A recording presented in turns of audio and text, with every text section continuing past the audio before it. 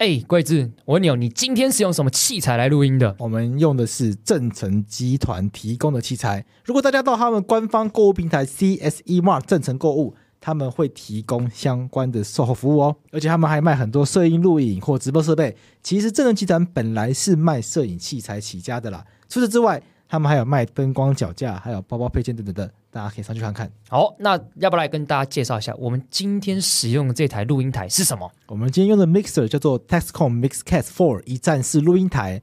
这台最棒的事情是你不用学会复杂的设定，你就可以完成 podcast 的前置与后置。重点是这台机器使用起来非常直观。讲白话啦，你今天是 podcast 新手，什么也不懂。一定也可以轻易上手，蓝牙连线、直播对话，重点是同时可以有五个人同时录音哦，而且你还可以有很赞的变声效果。我们来示范一下。好，来，我们先来示范一下。来，各位进入这个情绪哦。来，这位陈小姐您好，我们想请教一下，究竟您今天发生什么样的事情，让你被骗好几万块？啊，你们上一集不是做那个假发服吗？我就是这样被他们的律师被骗了好几万。哦，我也是看了法白才知道，原来有真法服、财团法人法律辅助基金会，他们不收钱。啊，我已经经济困难了，还要被骗这么多钱，我真的好难过。谢谢你们司改会还有法白揭露这个乱象。嗯，哎。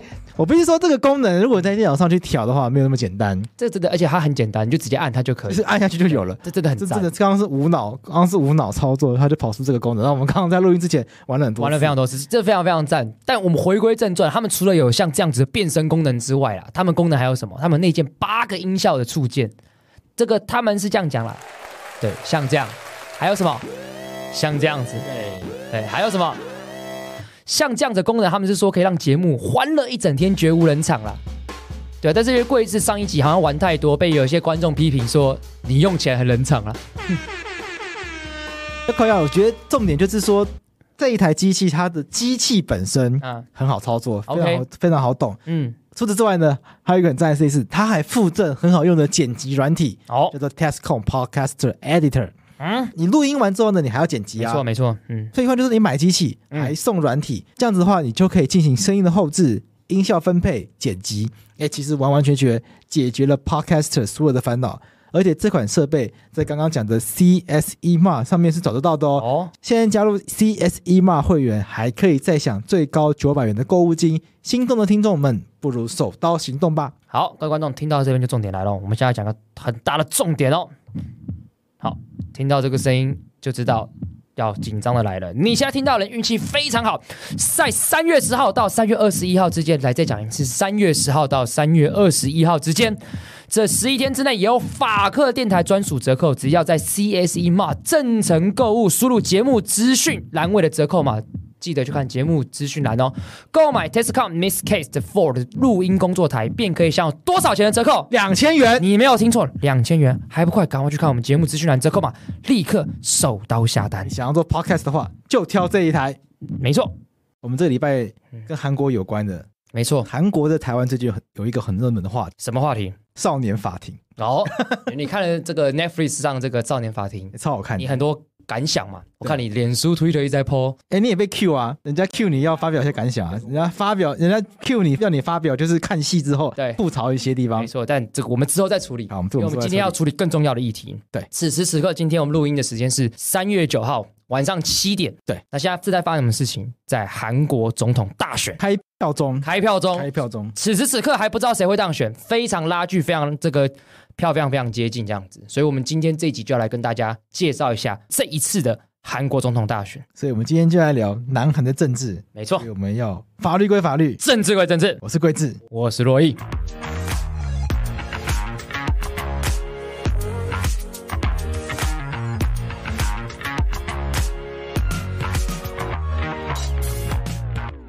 没错，嗯，那要聊到韩国总统大选，就要聊韩国政治，对，那就要找熟悉韩国政治的人。没错，我们上一集日本人找默默嘛，对，默默是日本人，没错。那我们今天也找两韩国两倍，对，一个是台湾学生在日韩国留学，没错，然后另外一位是韩国人，嗯，没错。那我们今天要邀请的是台韩情报站的两位创办人江冠霖跟申在元，Hello，嗨嗨，Hello，你好，呃，拍个手。就大家好，我是江冠霖，然后我现在是在韩国这个首尔大学就读韩国研究系的台湾学生，然后我刚好有在这边做像独立记者，因为我自己有在做独立的采编，帮写一些关于韩国的时事这样。是好，那另外一位是在元嘛？对在元那在元要不要跟大家自我介绍一下？Hello，大家好，我叫申在元，然后我之前有在台湾还有中国那边留过学，然后现在目前的话和冠霖一起在做台韩情报站，然后主要是聚焦于台韩关系，然后一起写一些文章，分析一下韩国这边的一些政治或者是经济等一些内容。大家不要听说这个在元觉得怎么讲话中文这么字正腔圆，对，没错，他是南韩人，韩国人出身没，错，他是南韩人，没错只是他因为他在中国留过学，对，所以中文讲的非常流利。没错。但大家刚才听过他们两个的背景，想必今天一定是非常多的知识的交流。我很需要啊，很需要，因为我直接说，你先说，对，南韩我一窍不通。对，因为先跟观众讲一下，贵字对南韩政治是一窍不通。对，但洛伊我本人呢，不敢说自己专家什么的，但我很有兴趣。至少把维基百科读完。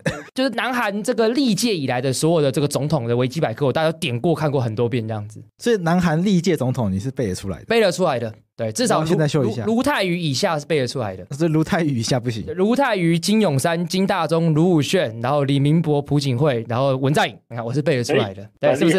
哎，对，你看得到两个专家的这个肯认。那南韩副总统这个南南韩哎，南南韩副韩有副总统吗？要要猜一下吗？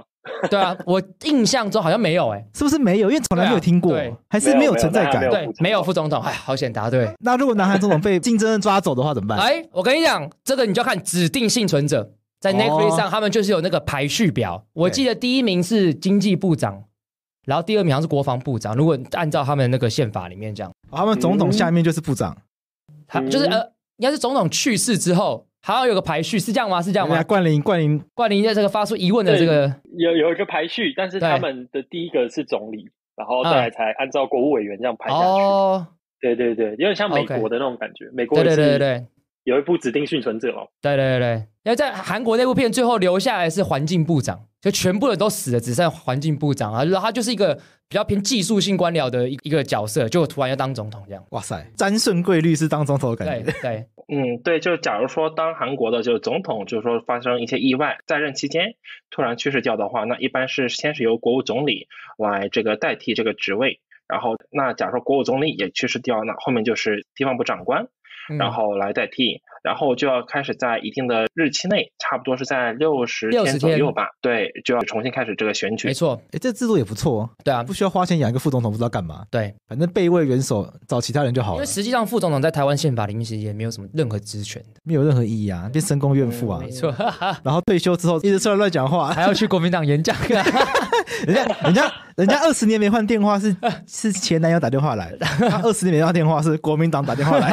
好，这个今天先不谈，改天再讲好。我们今天重点还是要跟大家聊聊韩国总统大选嘛，因为其实近来的这个国际新闻，大家都比较聚焦在这个乌克兰跟俄罗斯入侵这件事情。对，那仿佛这个韩国总统大选的声量跟过往比起来，好像大家没有人在讨论。其实我们觉得很可惜。我觉得韩国总统大选在台湾本来就很少人讨论但。是上一次可能因为朴槿惠一些事件，所以上一次蛮多人讨论的。坦白说，南韩的状况，我觉得台湾人普遍都不认识，对，关心的程度也比较低所以。我们接下来跟大家聊一下这样子。那刚刚开场这样子也很快速的让听众知道，其实台湾就是总统制嘛，对总统下面就是总理，对，总理下面就是部会首长，没错，对他们是一个标准的总统制的国家。，对。既然是政治嘛，所以直接先聊。直接先聊，就是这个候选人的一些问题，这样子。对，要不要先跟大家讲这次有几个候选人？因为就我所知，你讲好了，这个这个这么简单，你自己讲了。我记得有十还这个十谁出？来选这种问题，还要请来宾讲话，这个节目一点都不专业。我记得这样，有十四个候选人，对不对？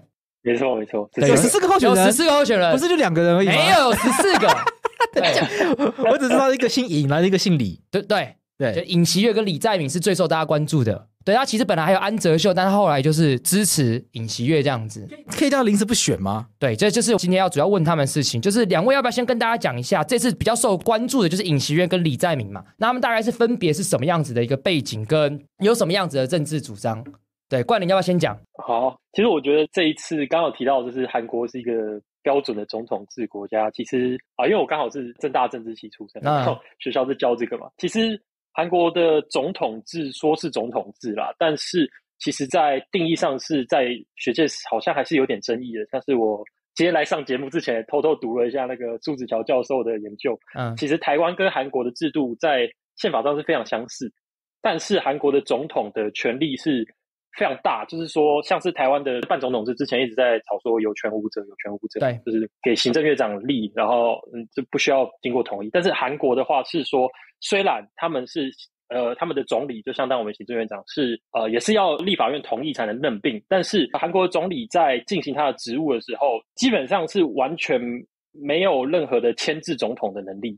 因为像是台湾的话，如果台湾呃还是有附属权嘛，总统对颁布法案之前是有附属权的。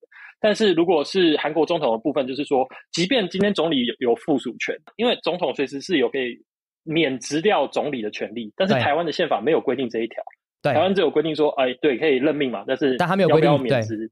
他没有规定，但是，韩国的是明文规定说，今天总理怎样，好，总统是可以直接把你免职。对所以说这一点是比较不一样。然后加上韩国总统有非常其他多更多的权利，所以说在韩国选总统的时候，基本上选的就是下五年，整个就是对国家整个大方向啊，各种大大小小层面法律，因为韩国总统也可以提法律，可以提修宪案，嗯然后韩国的国会是没有倒阁权的。那啊，韩国总理又有任命权，就基本上就是这是一个总统他的权力是极大的一个，我们真的可以说他是比美国总统权力还大，OK，他是行政首长，对。然后刚刚问题就是说，呃，四这次的中文候选人这么多个，但是实际上有竞争力的只有四个，就我们刚刚提到的。那我觉得要去理解这一次的总统大选，加上韩国的政党政治，你可以拿台湾的政党去比较，好虽，然不完全精准，但是台湾的政党其实跟韩国的政治是非常像的，基本上就两大党。哦这次的保守派跟进步派。那我们传统上在台湾去认知呃政党政治的时候，我们普遍会说民进党是比较台湾派嘛，比较反中一点，对，国民党比较对。亲中。那在韩国的话是反过来，进步派是比较亲中。中间路线。我啊对我们不要讲亲中，因为我觉得这有点争议，等一下解释。清北，有中吗？对对，亲北，清北，然 后那保守派是比较反中的，反中。亲美。嗯，对，我觉得应该也全世界也只有台湾的进步派是反中的啊。对，基本上这个是蛮有趣的，对，对。嗯哦，真的哦、这是蛮有趣的地方。没错这，件事情还没有翻转，美国也是啊，对大，家还没意识到中国的可怕，是不是？这是这个很有趣，我觉得这个之后可能一起来聊，就就是如果进步派这么在乎人权价值，可是为什么都对中国这么友善？这是一个在世界各国我们觉得很多人在批判的一件事情，这样因为他们还是相信透过这些交流可以让中国人权化、民主化吧，没错，对不对？对，但还是有荒唐，荒唐，然后我觉得韩国的嗯状况是因为进步派相信对于中国的状况，他们认为说是以国家利益至上。那国家利益至上的话，他们跟中国有很深的牵连，这个就我们可以等下再讲。对 OK，那那如果是利益导向的话，亲中是可以理解的。国家利益对啊是没韩错啦国自己国家要发展，所以韩国就是分成进步派跟保守派这样的概念去理解政治势力。通常是这两大派。那进步派跟保守派的差别，就进步是指什么东西，保守是指什么东西？如果硬要下几个判准的话，呃，这个有很多层面，在元能帮我们说，譬如说进步派跟保守派他们有哪些关键政策，一定是有，一定是对立的。啊、好的，就进步和保守，它最大的一个差别化是在于，就是说对北韩的一个态态度是什么样子的。比如说像文在寅他这边就是代表的是一个进步派，那进步派主要的一个政策就是说，我们可以通过和平的一个对话，跟可以跟北韩通过对话来解决这个问题。所以是比较就是说亲北，那通过亲北呢，然后对中国也也是比较就是亲近一些。但是保守派的话呢，他们是坚决反对通过对话来解决这个问题，是更多是以现实主义的角度去看待这个问题。所以说，我们可以通过对话去解决，但是在通过对话解决之前，我们要有足够的一个军事能力来压制住北韩。能够就是说，就以防北韩它继续开发这些核武器，然后对我们的国家啊、有危险。所以说，保守派的话，他们一般都是会认为，就是说北韩是一个假想的敌人，所以我们要得就是说反对这个北韩，然后反对中国，然后要亲美，是这样的一个就两大不同的一个就脉络来分进步和保守。所以对韩国来讲的话，进步跟保守最大最大的判准就在于是对北韩的态度来做一个分野嘛，对不对？对，一开始是这个样子的。那跟台湾很像啊，对，跟台湾其实也是，蛮像。台湾是对中国的对中国对，那可是如果回到一般的社会议题的话，我们举个例子，好比说像在台湾，可能他们在性别议题上，民进党跟国民党其实还是有蛮大的差别嘛，对不对？至少民进党做到同性婚姻，然后国民党到现在还在反对。对那像在性别议题上，这两个势力有没有很大的差别？还是其实也没有什么太大的差别？就是之前的话还是有蛮大的一个差别的，但近期的话就不太明朗。然后尤尤其是就这次大选当中呢，关于性别议题是一个很大的一个就是说争执点。但是女性的话是对于进步党还有保守党派都非常的感到失望。所以说他们都不知道得该去选去选择谁，因为一般而言，就是进步党他们是比较偏向于，就是我个人比较喜欢用的词是两性平等，但是啊进步党他们就是说更加偏向于就是支持女权，所以说他们就设立了一个叫做女性家庭部，然后是专门来保障就是女性的一个权益。OK，那所以对于女性给到一个权益，还有就是他们的权益保护，就是非常的多。嗯但是问题是在于，在文在寅上任期间，文在寅下面的很多人都有被曝光一些像性骚扰一类的一些事情，比如说像这个首尔市前任市长啊、这个朴这个朴元淳，他不后来自杀了嘛？对对？被曝自杀，然后这个嗯被曝这个自杀的一个原因是因为他的秘书说要这个站出来指控他之前的一些性骚扰，还有包括这个前任这个釜山市市长嗯，也是啊面临同样的一个一一个问题。然后文在寅下面他还有一位官员，好像是哪个道来着，就我忘记了，但是也是被曝就是性骚扰，所以说就出来道歉。那么嗯作为进步的左派，他们应该是说要为女性取得更多的一个权益，但问题是偏偏是他这一些脉络的官员全部都被爆出这个性骚扰以后，那他们是很难再被这个女性群体去相信，他们真的是可以来保护我们。所以进步派的人爆出一堆性丑闻。对，OK，好，那反过来，那保守派呢？对，那保守派不是更糟吗保？守对啊，保守派起码应该也是尊重女性啊。对，因为这一次的总统选举，据我所知，看到很多的新闻标题是史上最恶劣的选举。刚才没这样下，有这样下标题嘛，说两边其实对性别议题都很糟。那刚刚听郑元亮讲完，就是我们知道选民对进步派是失望的，你打着我支持这个妇女家庭部有这样子的部会，结果你下面人都在性骚扰。对然后对，那保守派的立场又是什么？保守派的立场呢，就是他说他要这个，假如说保守派这边当选的话，他要废除掉这个女性家庭部，哦，他希望就是获得更多是男性这边的一个投票。所以假如说看这个二零三零的投票的话，男性一般是投给保守派会更加多一些，女性投给这个进步派会更加多一些。但是当被问及就是哎。为什么就是进行投票的话，那么它有好几个数据有呈现。那嗯像今年的话，百分之六十五点五趴的人是说我为了支持候选人而投票，然后百分之二十九点四是说啊、那个我为了阻止我不喜欢的人当选去参加这样的投票。嗯所以很多时候就是说，很多外媒还有包括韩国本土的媒体都评价这一次的大选是非常的糟糕。对，实际上它就是很糟糕，嗯就不仅仅是包括我在内，很多就是韩国百姓也是这么认为的。嗯所以我们一般是说，我们这次的选举并不是说要去选能够给我们带来希望的一个总统，而是在最差和次差，就是说次一点的一就是差的总统当当中去选一个人。了解。那我觉得在元其实把这个这一次两股势力在可能这个概念上讲的蛮清楚的。但我自己更好奇一件事情，就是好，那李在明跟尹锡悦，他现在就是这两股势力的候选人嘛。那冠霖要不要帮我们介绍一下？那谁是保守，谁是对，谁是保守，谁是进步？那他们又是什么样子的一个背景？这样子，就大家是会蛮好奇，是他打打哪来的？对对啊，对啊？因为刚刚赵有提到这个，他认为保守跟进步的差别是在于对北韩的态度。但是我我觉得我要先澄清一点，就是这个跟台湾的对于中国的态度是有很大的不同。哦，怎么说？那这个不同点是在于说，不管是保守或进步派的韩国的政党，都是支持哦，OK，基本上都是支持朝鲜半岛统一的，就是都是支持一个一个一个完整的韩国，都是统派，都是对，都是统派。对，都是统派。但是台湾的这个统不统独的问题的话，是有点，甚至我们可以说台湾是有两个民族认同在里面，没错，没错。两个国家在在冲突。但是韩国人没有这个问题，你今天不管投保守派、投进步派，你都是韩国人，只是说今天要怎么去面对北韩的这个问题。哦，这差别在怎么统一，嗯，是他们路线在如何去统一，如何统一？对，大家都想要统一，他们有个很重要的前提啊，就不要分那么细，大家都是韩国人。可是是南韩民众真的都这样想吗？会不会有人支持我？我就支持南韩独立。对啊，因为东德跟西德统一之后，西德花了很多钱在东德那边他们，觉得不爽。这就不爽啊。但南韩人不会觉得说我赚那么多钱，对然后去弄那个北韩留下烂摊子，对啊干，脆自己独立算了。对，别就是比就就分析一点。对我赚的钱自己留着花。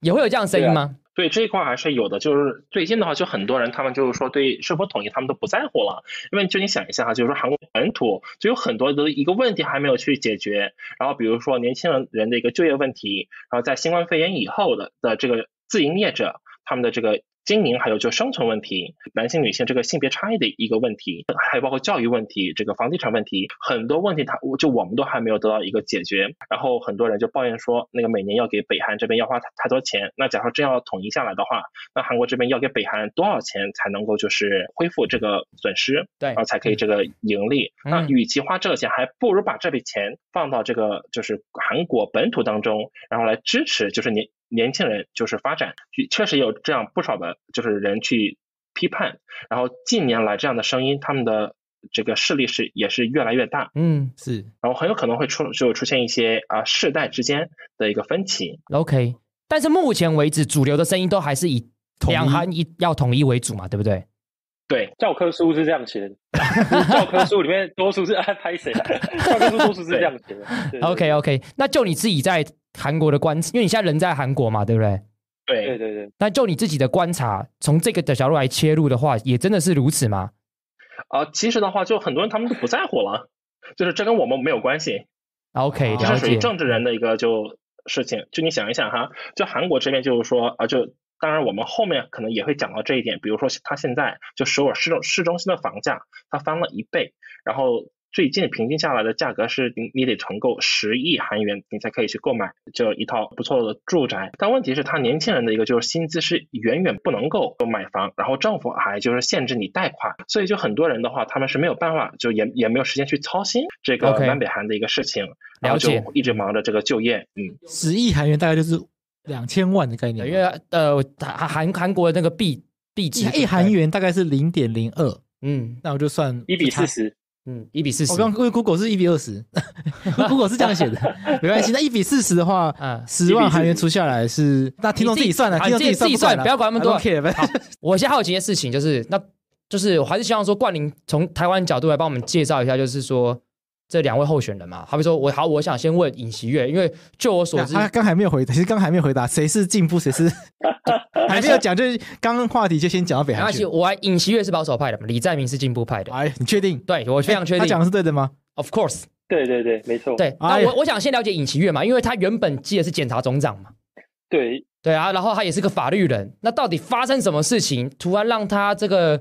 跳出来，你说检察总长出来选总统，对，这个在台湾很难想象。对，所以就是很难很难想象。你想一下，就是他这个法律人，他突然跳下来，然后参选政治，这到底是发生什么事情，然后让他来做这件事情？台湾近年最有名的检察总长就是跑去跟马英九告密而已。没错，告密，然后后来后来泄密追定验，对，好惨哦。没错，在台湾检察总长好像没有那么强大的政治参与动能。但是这里我觉得跟会不会跟国家性格、文化都有关系。对，那我们先听冠霖怎么讲尹锡悦这蛮特别的。对，台湾是律师从政的很多。对，没没有想到会是检察官。对，检察官。检察官这个好特别，听看看。其实其实韩国过往也是律师、法律系的出身是比较多的。对，尹锡悦的话，他的状况没有，因为他这次是政治素人到参加这次大选，其实他是空降下来，所以其他的是蛮争议性的，不管在进步派、保守派。那他会空降这次的原因，是因为他当初其实是文在寅的，呃，怎么讲，算是心腹吧。文在寅在他，因为他是在二零一二的时候就已经在负责调查这个。当初在二零一二时候，有一件事情是韩国的情报局，国家情报局去放在那个脸社群媒体啊、推特上面放假消息。那时候文在寅跟朴槿惠要竞选嘛，就放假消息攻击文在寅。OK，这件事情就是说，就是尹锡悦在负责在调查。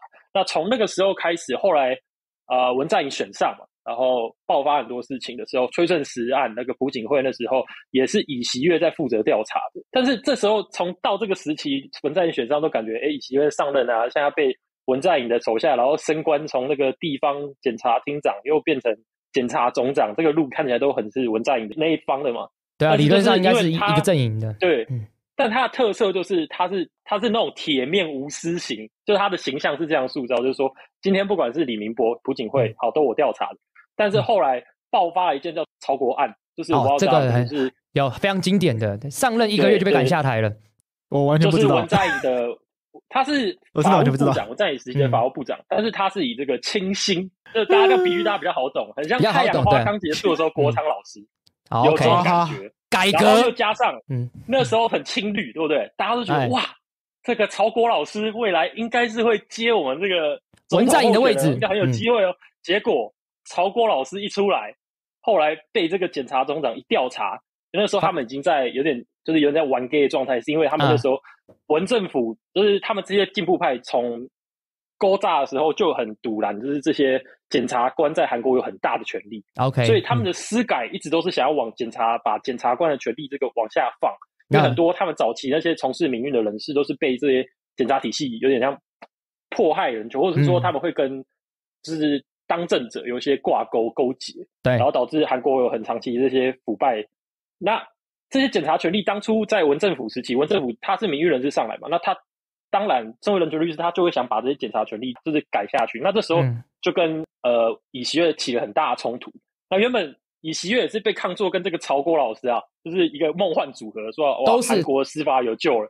哇，没想到尹锡悦对尹锡悦就去调查曹国，一调查就发现说，哎，曹国他女儿就是伪造学历然后嗯走后门，对，反正就曹国自己身上有一些问题，但是自己爆出来之后，就韩国民众就就吓到，然后尤其是进步派的就觉得说，哇，我们曹国老师可能下一届要出来选，现在被你搞掉，然后就变成说保守派突然就很推尹锡悦，然后进步派就很讨厌尹锡悦的这个状况。哦哦，哦，这样你这样讲很对很很清楚，对，非常清楚。然后尹锡悦就因为这件事情就下去，直接去这个保守派就说好，我来初选，结果就跟着给他选上了，这样。哇，这样听起来，我如果我翻译一下，就好像是我发现呃某一个人调查黄国昌，结果发现黄国昌的儿子考多一九百四是假造的，你的那边差不多这样意思嘛，就差不多意思嘛，对不谁？care 多一分数？我 care，因为他羞辱我。而且我记得曹国的老婆后来被判刑嘛，对，但是对。这个我觉得有点有趣，是为什么大家有没有想过，为什么政治素人可以这样下去初选就选上？对。其实有嗯。很大一部分原因是因为他们的保守派没人了，就像是国民党没人，哦然后今天哎、哦国昌老师突然调查一波，然后就说我要加入国民党，哇，那国民党就是那种绿色投不下去，可是也投不下去国民党的，就哦突然有一个人可以不用含泪投了，他初选就上了，就是哦大概有这种氛围的感觉。这个譬喻很不精准，但是我觉得比较好理解。没有，我觉得很很让人了解嘛，因为我记得在二零一七年选举的时候，文在寅是第一高票，第二高票其实是安哲秀嘛，所以也就是说保守派的势力其实是落到第三名的嘛。如果硬要这样区分的话，那时候应该还是保守派是第二高票，七百多万，是虽然输了二十几趴，但还是第二高票。哦，还是第二高票安哲。秀拿了两百多万了，但是安哲啊秀两百多万也算很多，对。对对对对，我就记得就是说当初当初保守派力量是被打得非常非常凄惨的。好，所以从这样来了解的话，尹锡悦大家可以知道，他就是原本是一个法律人，铁面无私的法律人，对要改革。结果你找一个要跟我一起改革的人，就发现干，结果你自己一大堆问题，对看不下去，自己跳下来出来选。，OK，OK，这样我觉得他的形象这样子是，而且他挑保守派，感觉就是因为这个对他来讲是一个比较好的战斗位置。所以他本来算进步派吗？我觉得他可能本来应该是没有什么派吧，因为本来是检察官，所以没有派系，对不对？检察官他是没有什么派系，对啊、对，是的。然后其实这块就我有一些就是说额外的一些背景可以做一个补充，好，就是说在文在寅他执政的一个前期时候，很多韩国的国民对于民主党是非常的满意的，啊，然后呢就一直投票给民主党。所以说在接下来的这些像地方议员选举也好，或者说其他的投票也好，就说进步党它是远远领先于这个保守党派，所以正巧就是说保守党派也需要就是通过一些改革。然后像他他们的这个支持者，还有包括像韩韩国的百姓，就就国民，就是说我们也开始进行一些改革，然后我们也希望你们能能够认可我我们的改革，然后来选择支持我们。而且呢，就是尹锡悦他是这个法律人出身，所以他嗯这边的话是，假如说他接下来参加大选的话，他是没有足够的资金来完成这次的选举，因为你每次选举的话，大概要得花个一百亿到两百亿韩元之间的一个下烂费用。下烂，对但一比四十，大家自己去算。两百亿除以四十，那就五亿哎。所以说，就是他必须得有一个政党来来支撑，对，对，应该是吧？就支持他，所以说就正好就双方一拍即合，就形成了现在的一个保守党派，然后来推选这个尹锡悦来参选。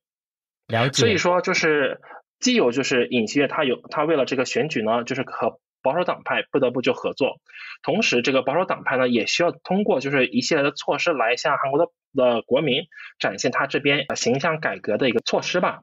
对，我虽然是保守党，但我也要展现一些清新不一样的一面应。该说他们也要也要展现出他们已经跟过去的朴朴槿惠是不太一样的。但他们那他们做了什么事情？所以他们就是改党名，然后就是接纳尹锡悦啊这样的一些就行为吧。因为像之前的话，OK，像这样的事情比较难以去想象的。即便是没有人，我这边还要推选一些候选人还是可以的，然后也可以去争。但他们最终还是选择了接纳这个尹锡悦，然后在内部投票当中也是推这个尹锡悦出来作为国民力量的代表这个保守派来参选。那这就是他们的一个就是说改革之后的一个就是新的模样。OK，这这样跟柯文哲很像吗？先跟观众讲，等一下再介绍另外一个主要对手李在明。我想在这边插出另外问题，因为我记得在选举十天前左右宣布一个重磅消息，就是原本也是候选人的一位人叫安哲秀，就刚好说四位嘛，四个有希望的人。对我们现在只只只讲两个人嘛，对尹锡悦、李在明李在明，现在冒第三个名字出来对，了，安哲秀安。哲秀，安哲秀他韩剧里面名字哦。他退出选举，他支持尹锡悦嘛。那安哲就这个人非常非常有趣。据我所知，他其实一直都想要参加选举，选选总统。曾经他似乎是进步派的，甚至他曾经有在选举过程当中，我记得在进步派的票仓，就是全罗南道、全罗北道、光州那边拿了很高的票。但是后来他这次却跟保守派合并，所以 这个听起来很像柯柯文文哲啊，对对，我记得在维基百科上，这个真的很像柯文哲。维基百科上说他有人说他是像政治候鸟，但这样讲不清楚。就当他我如果今天说他是韩国柯文哲，哎，我这个比喻够精准吗？我觉得应该说啦，嗯就是我如果我们很粗糙的比较韩国的政党政治，你可以把这次这次四个候选，好，假设文在寅的执政党，他们嗯进步派大概是民进党嘛，那对保守派大概是国民党，OK，其他两个你就可以大概把它比成民众党跟时代力量哦，其实还有个时代力量在，对沈香丁嘛，对，对，正义党沈香珍是应该是念真，然后真真真真，他们这个小党就是永远，你知道，普遍大家都知道韩国是比较保守的一个社会嘛，对对对对于 LGBT 不太友善。之前上次在二零一七的总统大选的时候，文在寅哦，他算是比较左派进步派嘛，我们所谓进步派、应该是挺同的嘛，对不对？听起来没有，他反同对那时候嗯他反同。他在辩论的时候，那个保守派就是那个会觉得说，只要同性婚姻通过，大家都会得艾滋病的那个保守的候选人，就嗯问文在寅说：“你反对同性恋吗？”文在寅没有，他没有，他没有什么犹豫，他说：“我反对。”然后说：“那你觉得这个如果同性恋在军中，因为韩国有个法律是比较同性恋在军中的同性之间的那个嗯性行为，嗯犯犯法，会被抓去关。所以说，这我听说过。哦，在这个情况下，那个保守派的问文在，文在寅直接说：“我也觉得这是一个很大的问题，就是说同性恋会解让我们的国防出现问题。”那哇唯一一个支持 LGBT 的，就是那个正义党的候选人。嗯嗯，可是他从以前选到现在，他已经选了三两三届，对不不确定，但是选了很久了。但是他每一届基本上都不会超过个位数啊。嗯对，反而是很悲惨，是他这么认真的在推这些比较进步的价值的时候，嗯另外一位他们有一位叫做也不能说韩国宋楚瑜，因为他没有没有那么多票，但是嗯那一位一个常任的候选人，他是以小丑出名的，叫许金玲。他的证件是每只要当选，就每个人都发一亿韩元。有有，这我听说，对，发到死嘛，对不对对对对？嗯，对 UBI 候吗全民基本收入我。觉得不是，哎，是吗？是吗？我觉得他只是好像说来乱的，对对对对，我有印象中他的政策不是说很很很缜密规划，说什么基本收入，就是他就是发钱而已。就是消费券乱发概念就，好像说就是给大家发钱，让你买得起，让人起租的房子，买得起房子，类似这样这样概念。跟着乱印钞票而已。对对对对，类似这样。啊，那川普对他叫 要川普感的感觉。没错没错，然后他就是这个人，甚至他的票数，他的那个民调还比这个正义党高。哇！对，就他有两趴，然后那个正义党的不到零点几趴。而且我记得正义党党是不是还被解散过？这个就要再往前查。我其实这韩国政党后来这么多名字，对太太乱了记不太起来这韩国简单讲是这样，是不是？就恐同、超恐同，对，没有挺同台面上台面上只有超级超级恐恐同跟稍微恐同，大家是了解感觉很悲哀的，很，悲哀。好惨哦。但我嗯我回到我刚刚主要想问的问题，就是安哲秀安哲秀安哲秀他到底是一个怎么样子的一个一个人？因为我记得蛮就是一开始他的形象是蛮清新的嘛，因为我记得他是一个天才背景是什么？他天才型人物，本来是医生，柯文哲，然后硕大教授，好可怕对，然后他我记得他有研发一个防毒软体，然后做的蛮成功的对然后后来参加政治，他是首尔大学教授，韩国最好的大学，对，所以他很台湾最好的大学也产生了一位 柯 柯文文哲哲教授，没错，哎，很巧合，呃，对。然后反正我记得现在蛮多人在骂他是一个政治垃圾，对，就是因为他换来换去的。柯文哲现在被很多人对骂政治的，垃圾，要不要介绍一下这个人物？他到底是怎么样子一个状态，使他曾经从好像是进步派，到现在居然跟保守派合并了？稍微介绍一下这个人物，这样子。其实我觉得很多人原本是想投安哲秀的，嗯尤其是安哲秀的背景是那种有点像给人家很专业文官的那种形象，然后也没有嗯像是标准两大党这么多的丑闻，嗯，所以说这次会做事这次其实对 蓝绿一样烂，对两边的蓝那个蓝绿推左右那种感觉，对，它是有这种味道，但是折袖摆中间这样。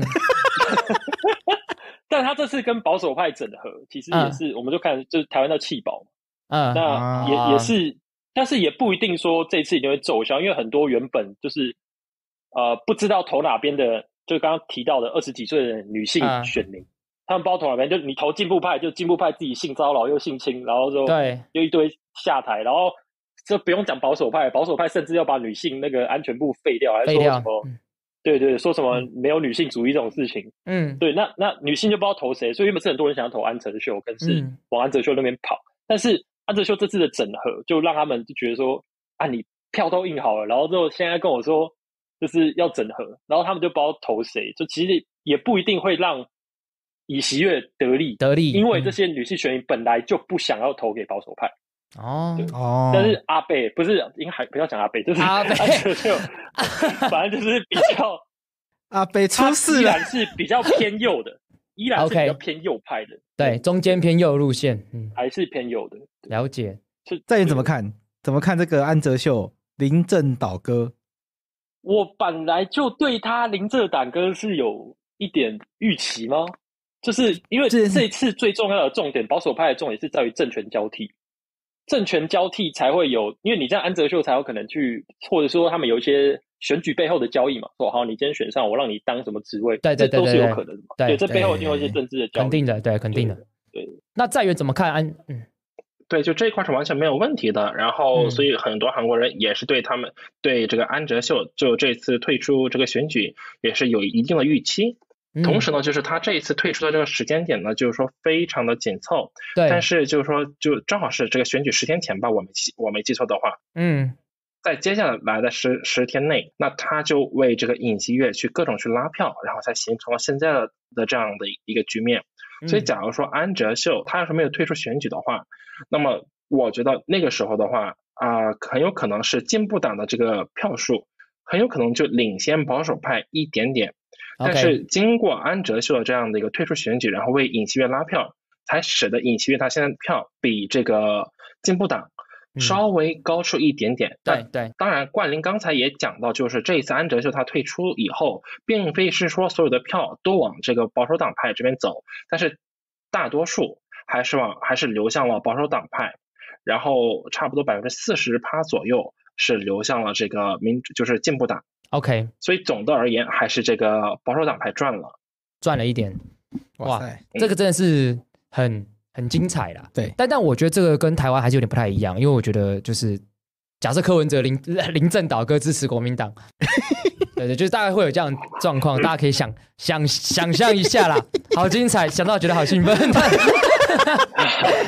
柯文哲已经说他要选啦、对啊，二零二四一定有他他一定有。他，对啊。二零二四假设不要，我先乱讲了，赖清德、然后柯文韩哲国瑜、柯文哲，不要再韩国瑜了 我觉得很有可能韩国瑜又再出来，啊。OK，不然你还有谁？你想还有谁？哇，柯韩配真的成这个成立耶！如果他这样的话，就柯文哲倒戈，说支持韩国语，大家说韩国语，对然后排排下暗盘是叫柯文哲当行政院长，对，肯定是这样子的，对不对？对，大概是这样，大家观观众可以想象一下这样子，感受上是这样。没错，哎，这也太吓人了吧！好啊，哇，真的是悲，真的是悲哀耶！我想到就就难过起来了。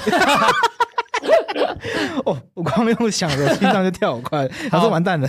我们刚刚讲完的保守啊，对然后中间这个摇摆的、啊，那还进步还没有聊。李在明要不要跟大家介绍一下？我特别想要聊就是两边，因为我觉得内政这部分可能大家没有，身为台湾国民比较关心他们的外交政策会对对对对，其实这一次李在明跟尹锡悦在外交政策上是有基本上是完全不一样的两个大、哦大方向，怎么说？就是嗯，甚至可以说，呃啊，我举个例好了，好上上礼拜吧，尹锡悦在这个演讲的时候，在这个造势，他直接提台湾，就是提台湾嗯方式是说，那时候韩国疫情严就很严重，对，尹锡悦就直接当场说，为什么台湾可以防得这么好？就是因为嗯台湾一开始把中国人 ban 在外面，然后哦封锁在境外，立刻掌握到精髓所以是公开这样讲。但是我觉得这个是一个，其实是跟过往韩国政治比较不一样的地方，是因为文在寅从他上任到现在，你直接去仔细去看，他唯一一次提过台湾，在他五年内就提过台湾，就是去美国那一次。哦，他在上任期间啊。从来没有提过台湾这两个字，，OK，不会去提。嗯，嗯，对，这也是符合李在明他们这个进步派一贯的作风，对对对对对，跟中国、美国保持中间。那保持中间的意思是什么？嗯。台湾就是不要去碰它，啊，就是不要不要青梅台湾台湾有钟随便，嗯 OK，对。嗯对，所以我觉得前面我们最一开始没有提到说，呃，进步派一定亲中嘛？我觉得嗯也不能这样讲，就像是国民党常常会说我们是亲美，然后有中，有中我们中间路线，对，但是这个中间路线其实就是大家都知道啊，那就是偏有点像是。好，中间就是中间就是亲中啦，但是这另外一点就是说，李在明他去延续这个嗯文在寅文在寅的政策之外，他文在寅的政策是什么？三步政策。那。他的对于中国承诺这三步就是不会增设萨德，美日韩不会变成军事同盟，不会加入美国的那个导弹体系。OK，那这三点嗯。在文政府的任期内，然后加上那个慰安妇的争议跟日本的关系，对，这些都是李在明他会，甚至他已经声称说他要在上任之后把这个萨德撤掉，撤撤掉完全的撤掉。对，哎就是这边先停一下，因为观众可能不太了解什么是萨德嘛，对不对？像贵这种吗？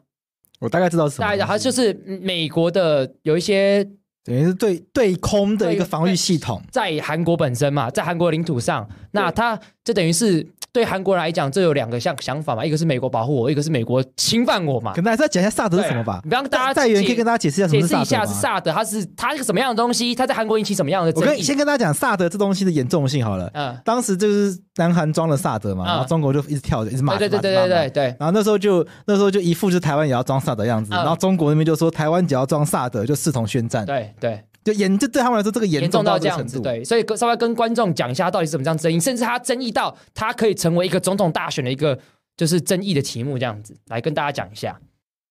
哦、对萨德的话，就是当时应该是二零一七年左右吧，嗯，就是那个美国在韩国部署的一个就是反制对空的一个就导弹系统，嗯，然后它就可以就是威胁到中国的领土。那我没记错的话，当时我有和一些韩国的外交官做过一些采访。那当时韩国的外交官就说，那关于这件事情，他们已经向中国政府这边就是啊、提前联系过，然后也希望能够理解韩国这边的一个处境。但是嗯中国是完全没有理会这样的一个事情，然后就一直警告韩国，就千万不能就是装萨德。嗯谁理你？对，是的，嗯所以说最后就就就装了萨德以后，那个韩国这边很多企业就莫名其妙的就受到了中国政府这边以各种理由哦，然后进行了一些税务调查，然后就最终导致就是说不少的就是财阀企业，还有包括韩国企业从中国这边退出，嗯所以这一点还是非常可惜的。哦，大家可以理解，因为萨德它可以侦测那个范围太大，对所以它可以侦测到可能中国的领土领空内部，对，等于中国觉得就是隐私权被侵犯，就你在我家门口装了一个这个东西，一天到晚监视我，讲白感受上大概是这样。白话一点，你美国就是对我中国亲门踏户啦。对所以所以这个确实引起一个你在我家门口装了一个什么高热能感感测仪，差不多这样子。我虽然有装了一个墙壁，但是里面看得一清二楚。我中大麻，你马上知道那样子。哦，对对对对对。所以对于萨德这个态度，保守派跟进步派的态度不太一样嘛。我记得保守派就是支持，那还不是像文在寅他们就觉得应该要拆除嘛，对不对？冠霖要不要把你刚刚接下来要讲的事情，可以继续继续讲一下这样子？哦，因为以习约在这方面就完全是另外一个方向，因为我们前面提到李在明是支持撤掉，对然后跟日本的关系，就是慰安妇的问题也是要继续的这个吵下去。他们比较以反日一点的话，对，就是有一些前面的问题，他们跟现在的政府不大一样。那嗯以习约的方面，他是说他当选，他直接讲，他是他要把美韩的军演正常化，因为在文政府时期有很多就是不能太敏感的问题，对，就跟中国的关系要顾嘛，所以他们嗯。跟美韩这个美国跟韩国的固定军演，很常就因为各种问题啊，可能今天天气不好啊，隔天肚子痛啊，就又又就又取消拖，然后又不去做，嗯，这个台湾人听起来太奢侈了吧？台湾如果有这个军演的话，对啊天气再冷都给我去，对都去台风蓝再去，去拉肚子去包尿布去大地震去去呃，教招十四日，哭着去去去去，教招一百四十天我也去，连 你屁！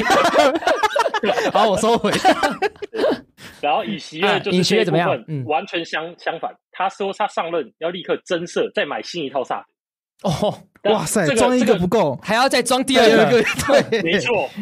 所以中国对于这一点就其实就之前就已经发过稿，就是嗯说以习月不要就是讲一些反华言论什么的，就已经被骂过很多次了。不准辱华。他除了他除了这一点，其实之前也有已经讲过很多类似的反中言论。因为呃，我补充一点，其实可能很很多听众不知道，就是这几年呢、啊，在韩国的反中情绪，尤其是年轻人，很高涨嘛，对已经，超越日本了。对，哦，真的哦，就是对，就是其实现在在韩国，觉醒就是对于中国的情绪，你会嗯去听到更多是年轻人的反对，就是像是肺炎啊，或者是之前的韩服起源、泡菜，嗯，然后东北工程这些事情。啊，东北嗯工程是中国现在尝试想要把韩国的历史写进他们的一个疆外历史，就把哦它列入朝鲜族历史。就韩国人觉得这是在剽窃他们国家文化。不要分那么细大家都是中国人。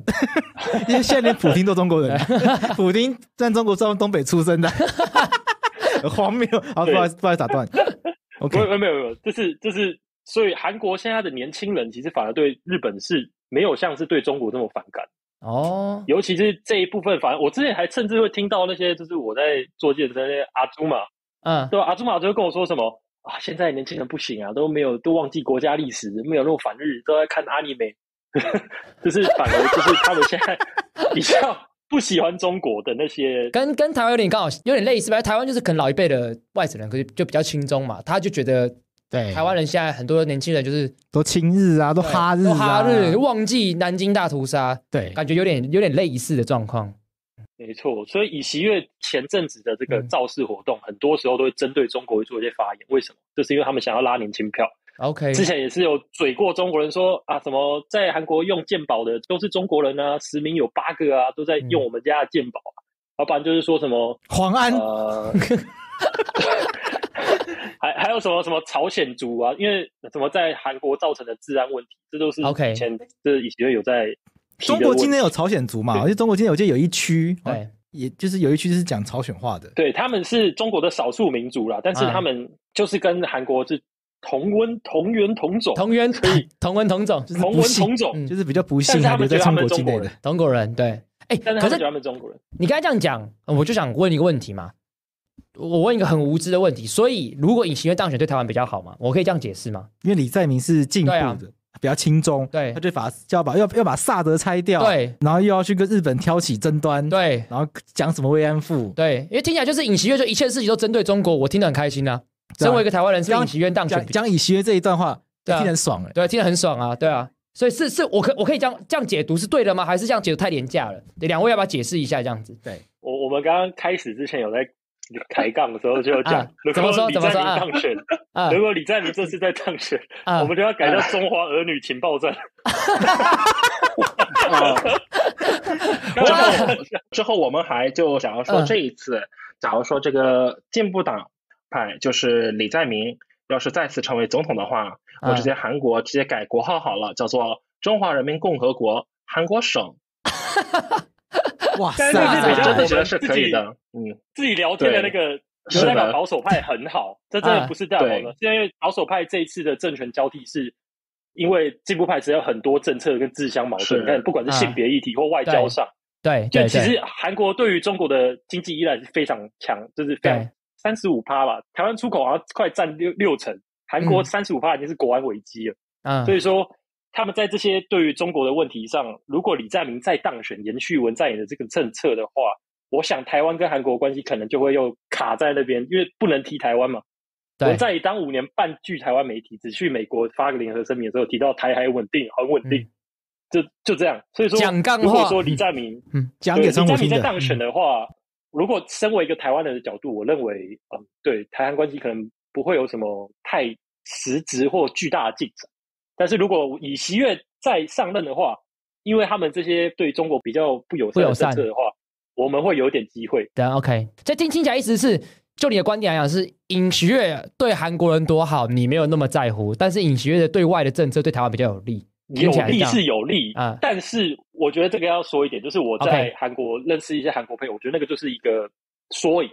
啊、所有其实，在韩国普遍，你几乎找不到会认为台湾是中国一部分的韩国人，哦，基本上哦真的假的？所有人都知道，你你基本上找不太到。韩国人他们在辱辱华哦，他们都辱华哦，韩国人聪明哎，聪明，对。那很多西方世界欧洲人，台湾跟 Thailand 搞不清楚，，对对。然后就台湾就中国一部分。对，不是韩国人当然比较聪明的，这这肯定我跟你讲，我到我到瑞士去上什么国际法的学校的课程的时候，就都是一群学国际法的人，对，然后就聊天。那你嗯台湾来的，嗯。可以跟大家解释一下台湾跟中国什么不一样吗？嗯，我说干你老师，你们都你们他们还国际法的人叫我解释这个，然后这是跟他说 fuck you 这样，然后我这边解释这样子。OK，就韩国人很赞，但我觉得很赞太高兴，哦，我觉得不怎么说怎么说？高兴。哦真的吗因？为其实我自己的感觉是，很多的韩国人其实对台湾完全不了解，然后他们今天会跟台湾人，好，今天你是台湾人，他们就对你喊台湾 number one，然后对，但是就就这样子而已，缩影，嗯，它代表什么？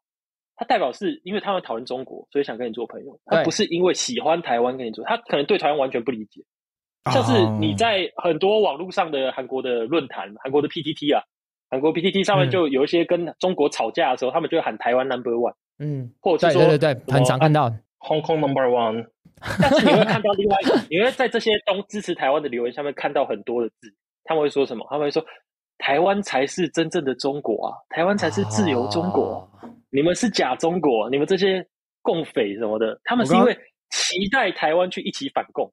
OK OK，自由中国，中国啦，背景突然凉了一下对啊，，Democratic China，对啊，还还是一个 China，对，对，所以你会有一点，我觉得这是有出路的，就是韩国对于台湾的认知可能是比较建立在对中华民国的认知上，因为蒋介石在韩国其实是一个非常有名的人物，对，蒋介石在韩国还跟朴正熙见过面嘛，对，还有李承哎晚，不止哦，不止，他们是好妈几之外，嗯，对，朴正熙跟呃蒋介石在韩国流亡的时候，那时候被日本殖民嘛，在上海建立临时政府的蒋蒋介石出出钱出力，然后嗯。加上韩国的国父金九的儿子，甚至是蒋介石的干儿子，就是中华民国跟哦。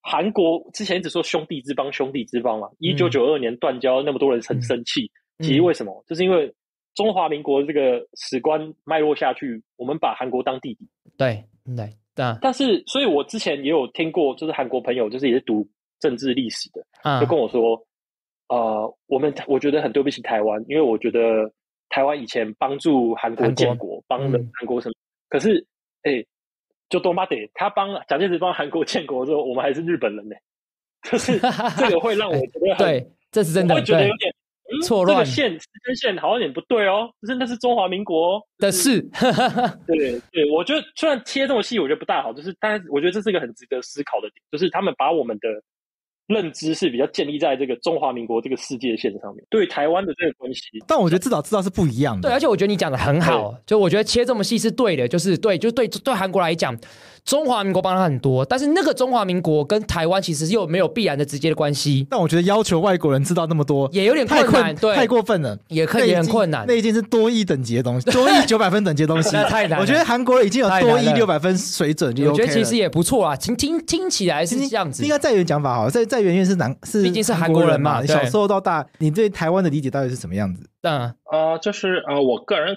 可能是因为学习就是中文，然后还有就是学习国际政治，所以嗯对台湾这一块也也是比较了解。但是假如说扯到就是说整体的一个就是说韩国年轻人的话，他们对于韩国的了解就正如冠霖所说的，就不算太深，但他们知道就台湾不是中国的。然后他啊们反过来就有就有一个就是是有有绝大多数的韩国年轻人对于中国的一个认知就是说是就是强盗，什么都是中国的，那个台湾是中国的，香港是中国的，然后西藏是中国的，中国什么都想要，然后什么都想拿第一，就是、啊。就有一种就是土匪逻辑在在里面，所以说很多韩国年轻人对中国的认知就是这个样子。的，所以接下来进一步就是引起很多韩国人对台湾的一个就是说喜欢，同时呢就是对台湾人的。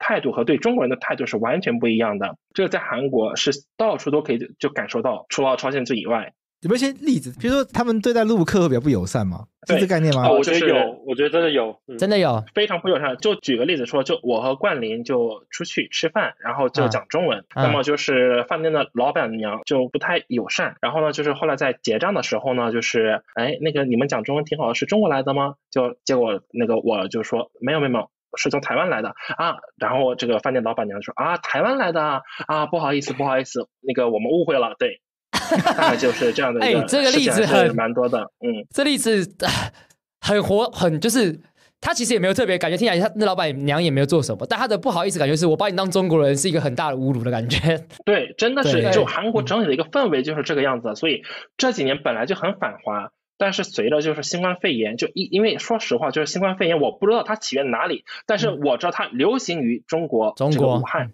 嗯，所以说就是很多人在指责这个文在寅政府为什么一开始你没有把中国人禁止挡住。嗯，对对对对，就是嗯为为什么没有禁禁止中国人入境，然后以至于让我们这些韩国人、韩国这个自营业户受伤，然后政府呢还不跟进赔偿，由此然后就引进一步引发了很多对反中的一个就是情绪爆发，直到现在很多韩国年轻人就特别讨厌中国。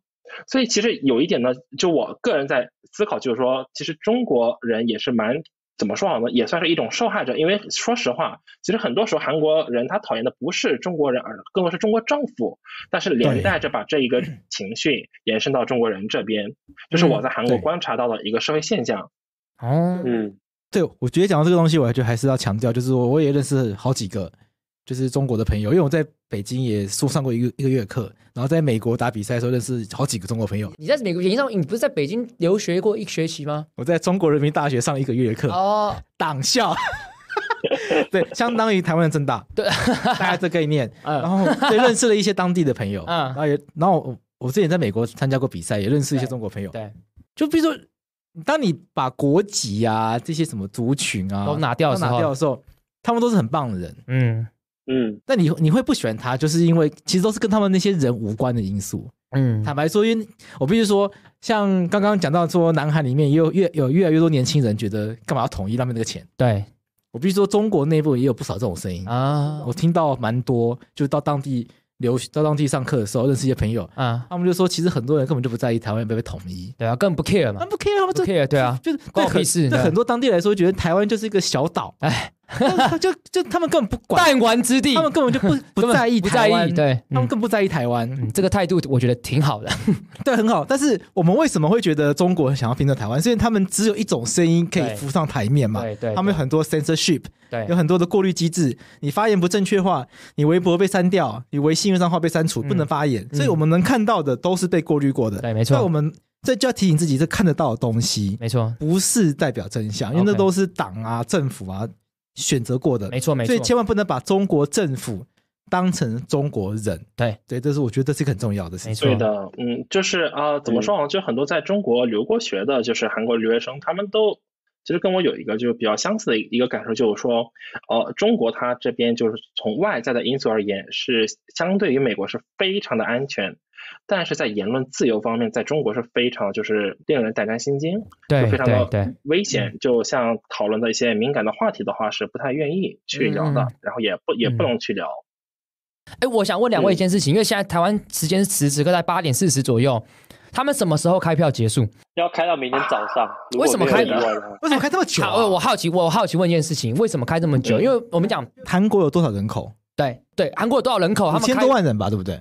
这个要问啊、就。韩国，就韩国是有五千多万人，所以大概台湾两倍。然后有资格就参加这个投票的人有嗯四千四百一十九万七千六百九十二人，哇，然后呢，但是 这一次的投 投票人数有嗯三千四百零七万一千四百人，哎，所以大概就台湾两到三倍之间。，对，但为什么开这么久？因为像台湾，我们大概四点结束，大概七点七八点结结果就知道了。台湾超有效率的，台湾超级有效率率，。当然，因为台湾有效率是有 是有脉络的嘛，因为国民党过去太爱作弊了，所以后来我们研发了各种防弊的机制，使得这么有效率。可是为什么韩国要开到明天早上？应该是说台湾的有效率是因为我们投完票立刻开票，但是韩国的有一个不一样的地方是说，他投完票，票要全部点完清点完票箱，然后一起送到开票所集体开票。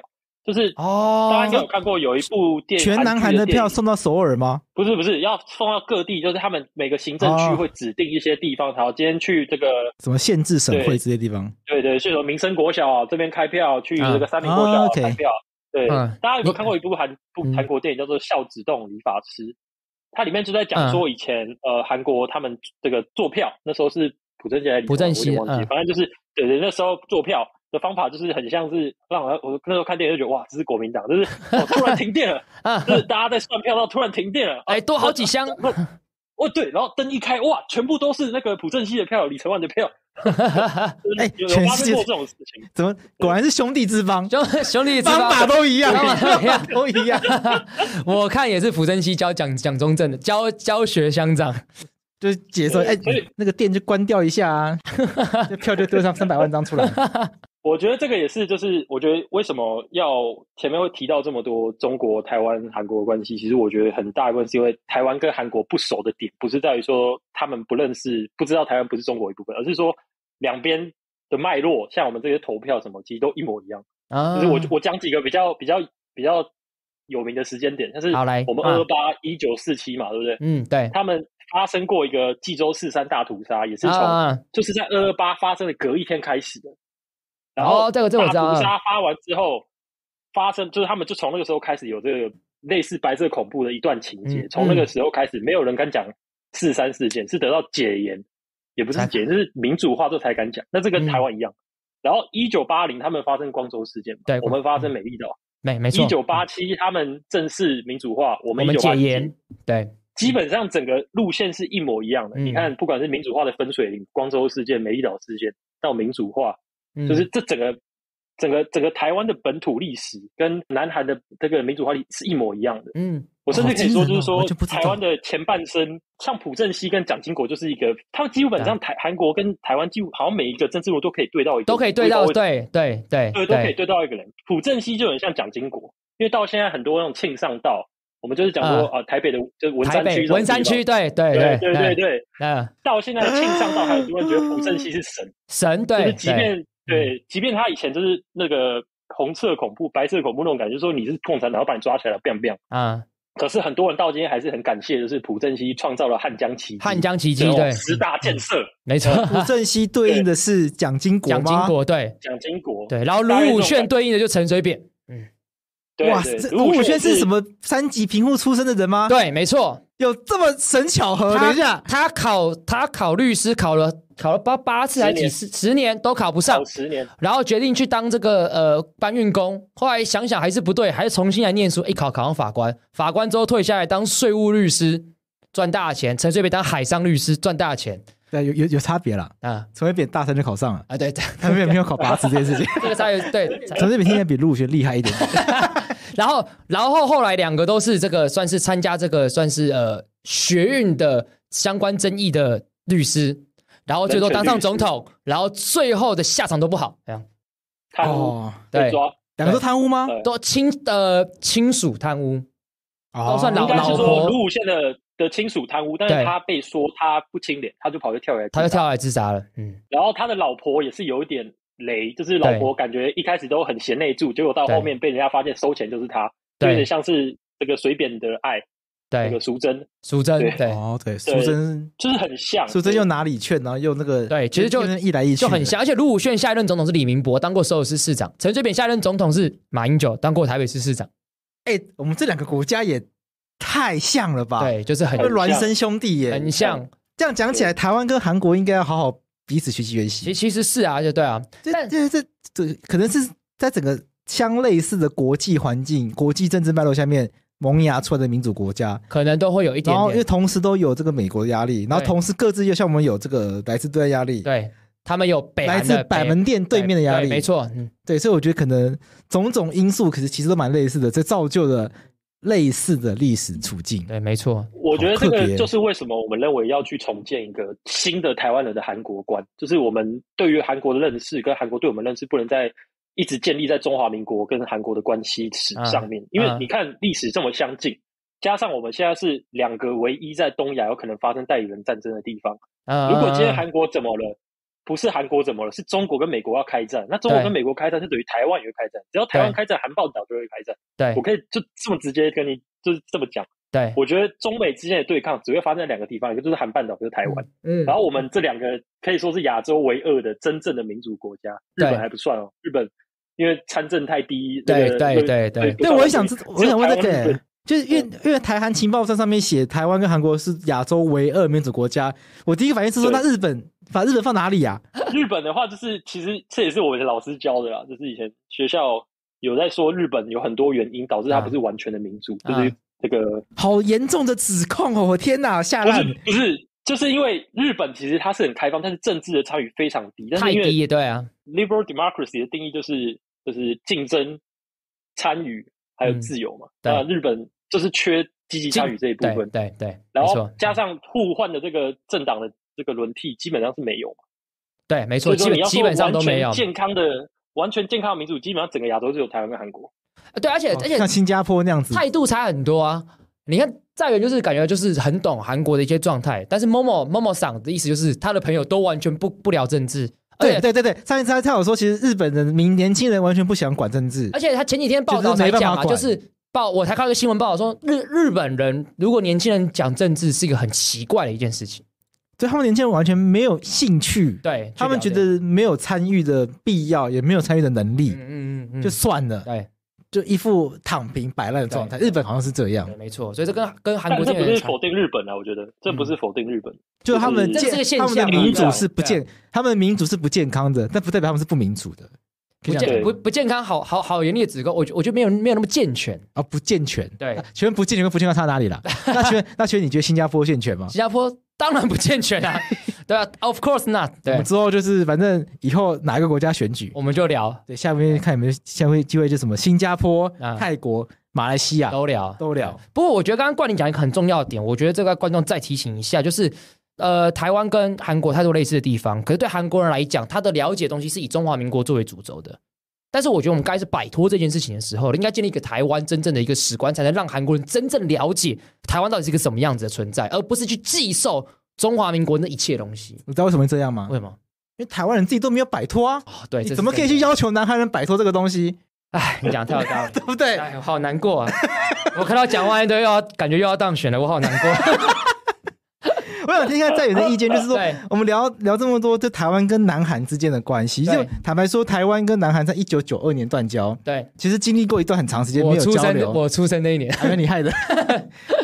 我记得印象深刻，就是台韩断交之后呢，台湾跟南韩其实有一段时间没有交流。对，没然后错，后来台湾跟南韩复航，还嗯，成为大新闻，说终于复航。对，这所以对在南韩的年轻人中是怎么看待台湾两岸或台湾这个地方？嗯，呃，就是像台湾这个地方呢，就是一直会出现在新闻当中。然后近几年的话，就是是因为文在寅政府他非常的就是亲中，嗯所以很多人就比较嗯。反感，然后也会更多的提及一下台湾，因为真的就很多年轻人他们是比较喜欢就是打游戏，啊，然后韩国的这个电子竞技也是非常的发达。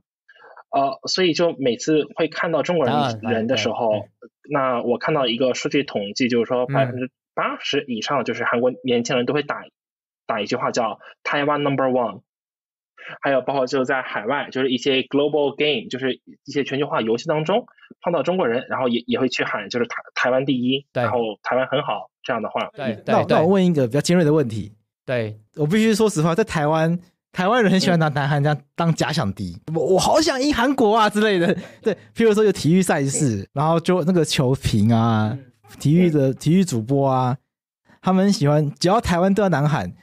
那一场一定会成为关键，因为大家都很想赢南韩，就好像至少台湾人觉得自己实力是不输的不不会输给南韩，对，所以就觉得一定要打败南韩。南韩人会就会有这样子跟台湾的竞争意识吗？不过他比如说科技产业，台积电，我们就觉得台积电一定要打败三星对对之类的。之类的，对，台湾跟台湾人就超爱买 LG 的、三星的东西。因为真的不错了，对对，品质是不错嘛，对不，错，对啊。所，以它就有一种比华为好多了吧？余量情节 嗯。我觉得余量情节这样形容，对。也许比较贴切。就台湾跟南海，台湾人觉得跟南海有余搞量情节，不搞不好他不这样觉得，搞不好觉得台湾哎 shit，谢对啊，可以可以听听看你的想法吗？对啊，呃，就是啊、呃韩国的话，就年轻人好像你可以老实讲，没有关系对对对对对，就说实话是完全没有听过类似于这样的一个言论，啊。就是啊没有说就就就没有想着就是说要就是和台湾竞争，或者嗯是做这个那个啥的，就啊更多的就是说台湾就确实不是属于中国的一部分，就啊台湾和中国它不一样。然后呢，就是也想了解一下就是台湾，但是也不知道得通过哪些渠道去了解。然后更多、哦更多时候，就台湾被言被提及到的时时候，是处于政治相关的情况下被提及到的最多。对，大概是处于这样的一个状态吧。所以我觉得今天这个有个很重要的收获，对，是南韩人、南韩国人、韩国朋友嗯，对台湾可能没有那么了解没有那，么了解，对，可是嗯，没有那么了解这个基础，就他们对台湾还还是有一个朦朦朦胧胧的印象，这个印象在台湾是好的，是好的，对。其实台湾人是好的，对。跟中国是不一样的是民主的，对。是自由的，是对开放的，对。但他没有把我们当对手，你看，对对，人家想打国际杯，人家没有没有在管亚洲杯这个，但我一直其实都有一个想法，我也可以跟两位分享，就是当然小时候嘛，但是受到新闻媒体影响，当然会有一些就是韩国就是一定要赢韩国啊。对。但大概从我在从二零一三年、二零一四年，我从此都管管，我根本不 care，就是跟韩国怎么样，跟日本怎么样，啊，只要赢中国就好。就是我觉得得我们不要再浪费很多的精力去啊把韩国啊什么当假想敌什么的，我觉得没有，我们应该要跟中国以外的所有国家友好，对这才是我们要做的事情。对那我觉得也跟观众讲一下，就是当然我知道我们观众很多人可能对韩国的文化是很感兴趣的。那今天听两位讲，其实很知道一件事情嘛，就是韩国人其实对我们台湾了解其实是没有这么多跟这么正确的。那我觉得我们能做的事情就是，如果你今天跟韩国是感兴趣的，你懂韩文，甚至你韩国很多韩韩国朋友，我觉得我们把一些正确的一些价值观、正确的一些方向、知道把正确资讯。资讯来跟韩韩国韩国人讲，我觉得这对我来讲是现在最重要的一件事情。没错。好，好，哎、我们今天有一个话题一直没有聊到，我觉得最后补充好了，补充好了，对，因为我们刚刚一直讲，我觉得听众朋友听到现在应该发现一件事情，啊，我们一直讲保守派，对，进步派对。可是我们从来没有提政党的名称。对，在台湾，我们就很明确的讲国民党、民进党对。美国就是民主党、共和党，嗯，那日本自民党、自民党、自民党，and 其他不知道名字的，哎，就是很多在大部分国家我们都讲出党的党的名字，对。可是唯独在我们这次讨论韩国的政治中，对，我们一直讲派、派，国保守派、进步派，我都没有提到政党名称，这是为什么？对，为什么？为什么？因为我自己在做功课的时候讲，因为我小时候很爱看韩国政治嘛，看到乱七八糟的，因为政党的名字一直在变，一直在重组，一直在解散、重组、换名字，对为什么会这样子？因为其实这个换名字的这件事情啊，我觉得很有趣，是因为韩国的政党政治跟台湾有个比较不一样的地方，就是韩国政党政治是非常集权，是非常中央集权。因为韩国政党不像是台湾的民进党或国民党这样有一个制度啊，什么有嗯。青年部啊，有什嗯。么叉叉部，就有一个很完整的组织，就什么什么时候缴党费，什么时候怎样。嗯。韩国的政党其实很多时候是今天党首是谁，或者是说今天是在哪一个地方出生的这个党首，就有点像帮派一样，啊，是一个非常金字塔的一个，就是说今天党首说我们要呃往这个政策走，或者今天走这个党首说哪一个政策，对，就是整个党的立场会立刻改变。嗯。非常人治的概念吗？没错，没错，就是今天谁是那个 leader，就会影响一切。嗯，假设今天高雄出来了一个那个好，假设奇迈，然后哎台北有一个、有一个万安，那嗯就是说今天万安说要支持哪个政策，基本上他们那个那个圈圈的党的支持者就会跟着他走。那基本上整个党的路线啊、改革啊，只要今天万安哎他不搞政治，那这个党可能就会立刻解散。哎，这是我换韩国目前的这种嗯，我换个白话方式，要不要跟观众讲一下？就是朱立伦，如果朱立伦是韩国的国民党的这个这个党主席，不会有战斗蓝的出现，OK，对于不会有挑战他的人出现。那那我换另一个例子，啊，韩国的政党的状况嗯，是不是跟民众党一样？只有民众党跟亲民党对这种感觉。对因。为亲民党就是靠宋楚瑜一个人嘛，讲白宋楚瑜如果今天可是可以，可是我觉得还是有一点不一样，是听冠霖这样讲，是说谁当到党魁，他的权力很大，可是不完全是那个党是跟随那个人的，就哦，真的吗？我意思说，我我我以为是说党都是因为应该讲，这这一，譬如说某一个党，他全都是吃那个 leader 的明星光环。但是我觉得他是吃那个 leader 的权利，不是吃他的明星光环。我我我的理解有错吗？冠霖要不要？我觉得应该要说，啊他这个党的党首基本上，因为韩国有很严重的地域情节啊，地域情节就是说，他可能是台湾来说就是南北情节嘛。啊如果说他今天这个这个党首，他这个政治明星出来，他是从台北出来，他的支持者就是台北那个圈子。那他整个党的结构，哦今天这个政治明星说往东走，他们就往东走；往西走就往西走。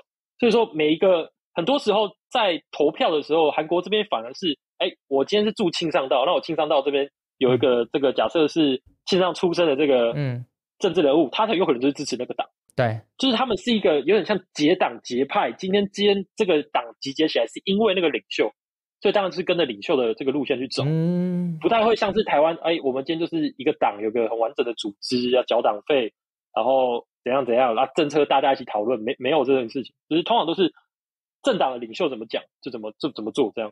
哦我们为什么会发现到这件事情呢？因为在做功课的时候，发现每一届总统的政党政党名都不一样啊。对，台湾不会这种事情啊。国民党、其民进党基本上从解严之后，这个态势就定了嘛。，对。一定是国民党对上民进党。对，那中间当然亲民党一路也是从两千年一路顺到现在，但已但那个经不见了，对啊，但基本上那个力量不是很强，我们可以忽略。那个已经没用了，所以国民党跟民进党两大党这个是很明确的。对。可是如果大家上维基百科去看南韩总统对，历届总统选举嗯，的那个两大阵营，那个党名会一直换，一直换，一直换，一直换，对。会换到说你觉得哎奇怪，韩国的政治是怎么回事？对，跟我们理解的那个方式是完全不一样的。嗯嗯，所以其实是看人，所以那个人每次换人就换名字吗，是这个意思吗？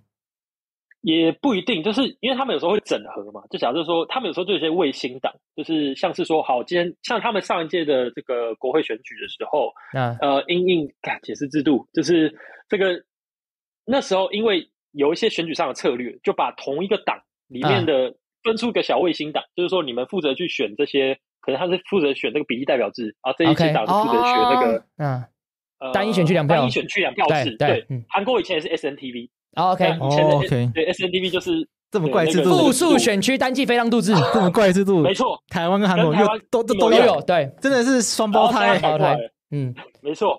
所以说，其实韩国很多政党在很多情况下是为了赢得这一次总统大选而特地出现的政党。OK OK，哦，好特别哦，就是李在明对这次是共共同民主党，对，尹锡悦是呃，国民力量国，民力量，对，然后呢刚刚你讲那个很少安安哲秀是国民之党，对对，对但是国民党也是有改过很多次名的，，对对。就是还有个正义党最近刚对改的，对，然后看上一次的话，上一次我记得还有一个叫政党，文在寅是共同民主党，对，然后那个红准，那个是什么洪准标。洪准是什么？自由韩国党，他就是保守派，自由韩国党安哲秀还是国民之党，然后那个政党是这个从自由韩国党分出来的一个小党，就是反对朴槿惠的，哎，是反对朴槿惠的嘛？嗯，朴槿惠是新世界党，对。文在寅是民主统合党。对。那讲到目前，这名字都不一样啊。我记。得以前还有什么新千年民主党，还是大，统大国家党、大统和民主新党，对，对，就觉得很，我我我自己我自己做公司，我觉得很混乱。你看新千年民主党，对，然后就是一直会变来变去的，但是国家，但大致上就这两个势力啦，所以就是这两个势力不会变，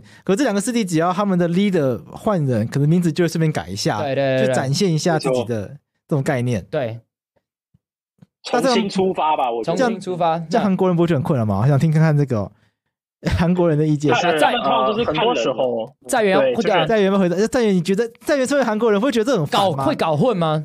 台湾人看蓝绿会有一种概念，会有一些人会觉得蓝绿恶斗。，对那韩国人怎么看韩国政治？对，会觉得就是我我们也是还是看这个是进步党和保守党党的一个就是争执吧。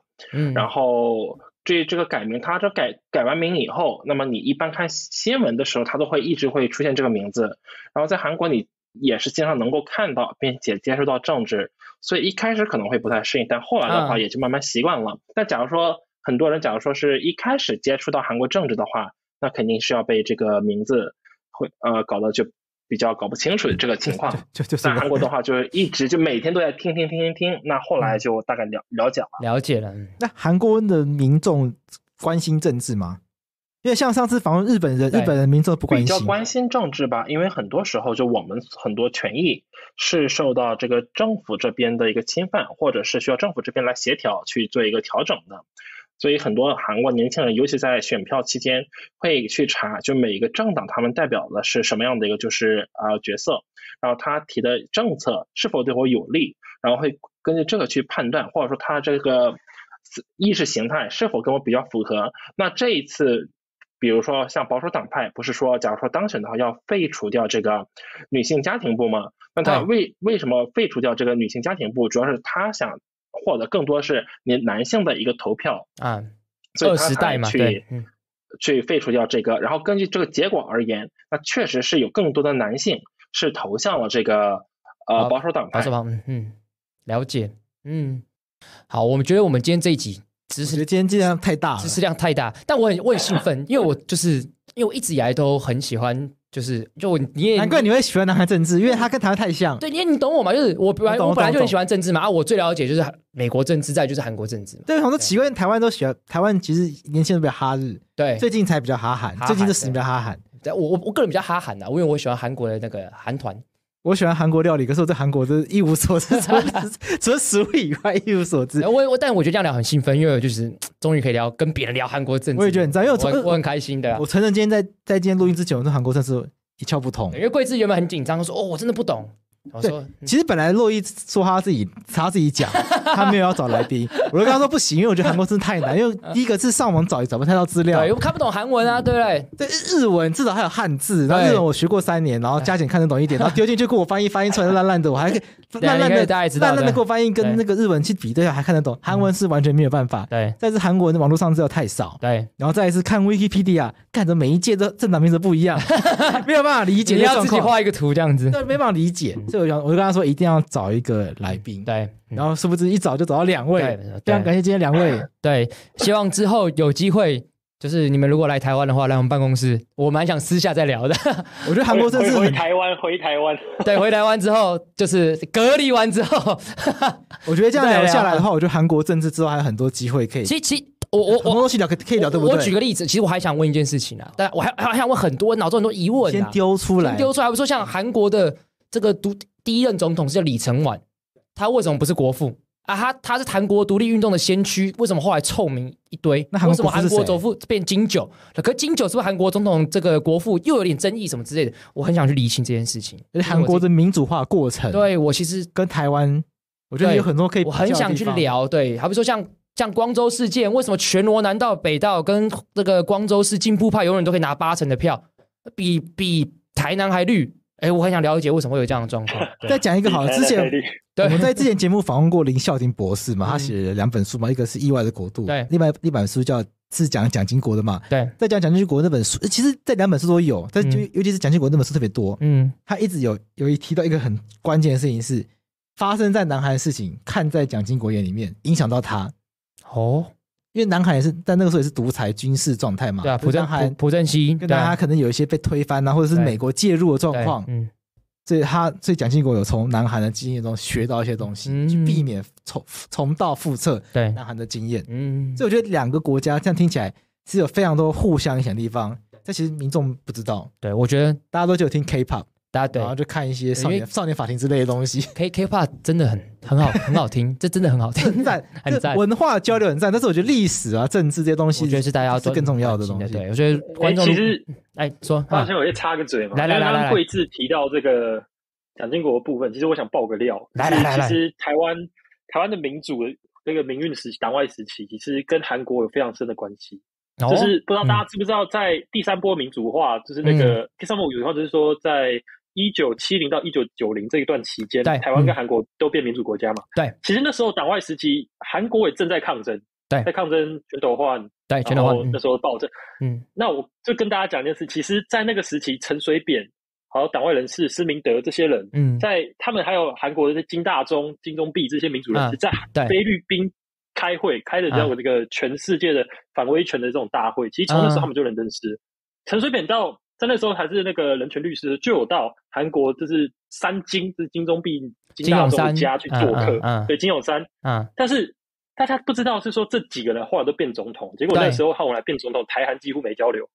对，大家完全看不出来，这些人在民主运动的时候他们是认识的、哦，而且是会去彼此家里做客的一种。哎，好惊这这这这人哦真的对啊，因为你看金大中当总统的时候，一九九七到两千零二年嘛，啊，中间陈水扁也当总统啦，其实就是这时候，嗯大家甚至是那时候卢武铉，呃，在陈水扁入狱的时候，对，卢武铉还有送书特地来台湾，哦写的台韩民那个有其一万岁给嗯陈水扁，陈水扁陈水扁拿这本书。后来陈水扁又回送一本他的书啊，给卢武铉，就是他们觉得两个有点同病相怜，其实这些都是没有被记录的历史。所以我觉得台湾跟韩国最可惜的地方是我们两个这么像，对，那台湾对韩国几乎是对于这方面没有没有任何认识，所以我觉得我觉得是对，很重要的要被记录下来的一些历史啊，嗯。就是说其实台湾跟韩国，你从另外一个角度去看，你从被统治者的角度去看，嗯。我，们是两个很熟悉的彼，此，没错，对，但是就没办法，我们现在读的是比较啊、好，就是朴正熙的那对比较他们那种威权，或者是我们威权时代留下来的这种历史史观，啊嗯你就没办法了解到这一部分的历史。对，对哎，乖乖听好，就去念书啊，去读韩国的东西。我推荐那个啊，我推荐那个朱立熙老师那本韩国史的书，我觉得很好看。哦，他名字他名字叫什么？我也忘记。韩国史搜寻朱立熙朱，立熙老师，他就是他已经不命不，命运的循环 对他已经不再更新的那一本，已经八版还七版那本。七版，对对，对我觉得那本很好看的。可以看。更新到我八版，觉得就是嗯，当初当初为什么会觉得要研究韩国，有个很大的原因就是推荐给大家，了解嗯韩国历史之后，你就会想了解台湾了。你因为哦。你在自己了解自己读自己的历史的时候，你不会有那么深刻的感触，就觉得啊，干那二二八有撕裂族群。你，读了韩国历史之后，你突然就会反过来想，哎、嗯。这都有可以对比的。我突然好像可以理解为什么以前那么多神经病在路上抗议了。哦，就是我觉得这是我在嗯。以前当助教的时候最大的心得，嗯。就是在韩国太多太多跟韩国一台湾一模一样的事件，但是台湾学生以前不看，读了韩国之后才反过来说，原来我们有这样的血泪，嗯。然后就开始觉得哇，我好像应该多了解点台湾。对，啊但那时候一九八七其实有一个韩国在抗争的时候有一个，我可以我都叫他韩国郑南龙，叫做嗯李汉烈的家伙，嗯就是他也是搞学运的，被催泪弹打被打打死嘛，对不对？对，被打死。然后那时候他其实就是跟郑南龙一样相相相比起来，就是几乎就是一个对比的人物。嗯那为什么以前台湾不会去关心？嗯，台湾可能现在只有哦，像我们这种绝亲啊，不要本土派会去关心郑南龙我。们就是绝臭绝亲。韩对韩国就会把这些这些真正在民主史上有贡献的人，真的建一个纪念馆，然后真的嗯去纪念他。对，在然后会会会会真的把这些事情放在他们的课本上面。OK，对那我觉得这是台湾要去了解的。这就是韩国的转型正义，我就做的比我们好的地方了。我自己这样觉得。然后我觉得南韩有另外一件事情也是可以聊，之后就再再聊两位来。对啊，我觉得南韩的公运，我觉得比台湾可怕很多。哎，韩国很南韩的很凶公运，哎台湾台湾空服员罢工、长荣、华航、机师这样子，台湾人就已经觉得很可怕。台湾人温良恭俭让那。个那个罢工跟南韩比起来，嗯，根本就差差别太远了。其实日本人我没有要酸空服员工会、机师工会意思，因为 他们工会自己的秘书、他们工会自己干部都说，他们那个等级跟南韩差差太多。。对，但这看台湾的罢工真的就是台湾的看罢工是不是真的就是在，譬如说在长荣门口喊我静坐，然后喊口号，没了。其实就这样子而已，不会有流血，不会有打架，对不会有其他冲突，这就是这就这就只是罢工不工作，然后喊口号，然后对制造压力很大。对，可是南韩的罢工是会流血，没错，我觉得那个那个等级也差非常多没。错。所以我觉得南韩果然比较北方，靠近俄罗斯，比较战斗民族一点吧。可以这样讲吗？可以这样讲吗？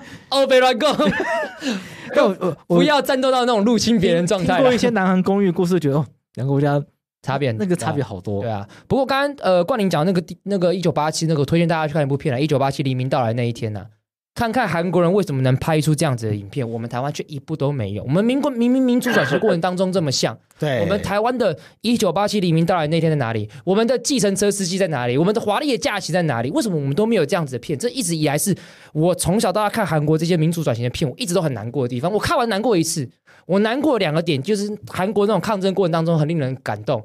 但对另外是那我们台湾呢，我们也不输他们啊，我们也有很多精彩的故事啊。为什么我们没有这些东西？台湾连那个少年法庭都拍输人家，哎这是你不要说民主展现，你那个法庭戏都比人家好看。鱿鱼游戏都拍不赢别人。台湾其讲到这个，讲到这个有第二个料可以爆，有来来来来来太长。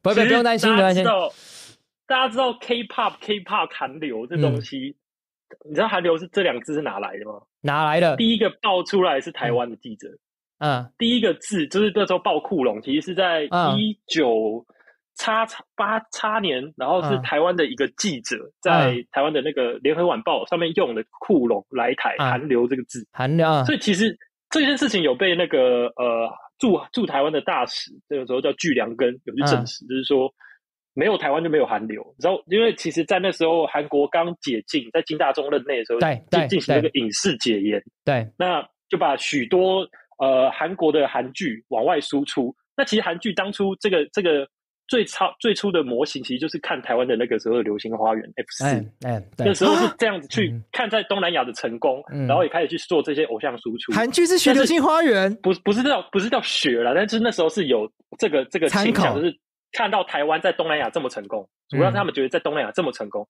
那金大那个金大中啊金金大中那时候就觉得不行，要文化立国。对，表示《流星花园》F 四言承旭那个时候，很红哎，台湾的戏剧走在韩国前面呢，是这个意思吗？是对对，曾经台湾是有可能有 T-pop 的，我我必须说，台湾曾经是有可能有 T-pop，可是最大的差别是那时候在呃金大中任内，把文化预算直接上升了四十趴。你觉得我们有可能文化部多四十趴预算吗？